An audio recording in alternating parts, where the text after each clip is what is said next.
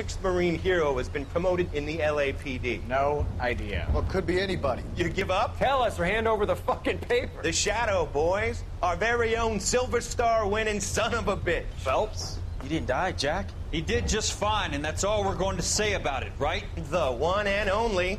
Look at this picture. Golden boy getting his badge, wife and kids in tow, and looking awful humble in the process. Well, he's set. Phony bastard. I wonder if they've been holding my job for me after all this time. What job was that? Mechanic. Ain't you seen all the war bond movies, Sarge? All the best mechanics is women. You're gonna have to work as a gigolo from here on in. I was a bus driver in Santa Cruz.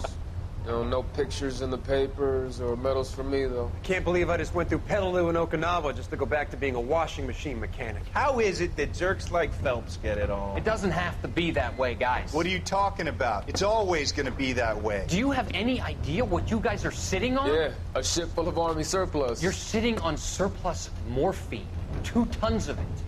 Can you imagine what that's worth on the streets? Hundreds of thousands of dollars. You're shitting me. I'm not. You're talking about stealing it? Keep your voice down. Do you want to have us all thrown in the brig? God damn it, Sheldon. You want to go into the dope business? No. I want to be in the peace dividend business. What is that supposed to mean? It means I want the guys who fought for a better future to get some share of it. You interested, Jack? Come on, Top.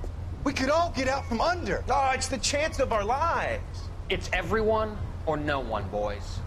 I'm not having a bar of it, Courtney. You may be the bravest person I have ever met, but I swear to God, trouble follows you around like a pet fucking dog. I thought you wanted to try for medical school. So what do you want, Jack? What's the future got in store for you?